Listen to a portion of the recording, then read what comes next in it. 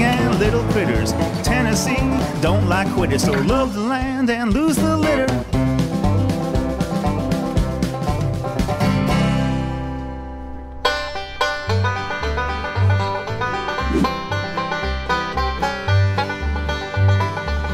A espalier tree is a trained form tree. You gotta build their arms and their legs and from scratch and you know it's trained into a shape that's restricted and of course it makes the fruit swell larger and they've gone to Mount Vernon, George Washington's home. Um, they, they've been to the Biltmore there in Asheville. Atlanta Botanical Gardens got a bunch. There's a lot of, a lot of places that they've went to all over the United States.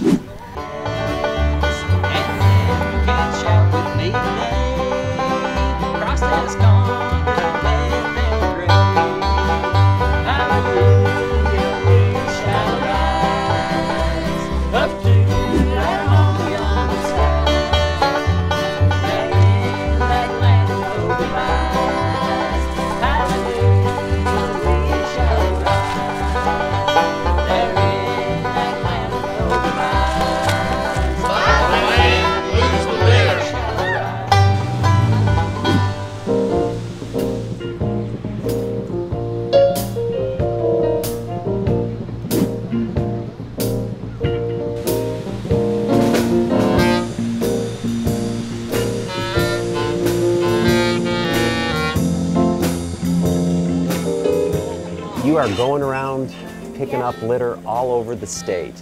And you know, picking up litter, you are helping out these sturgeon. Why?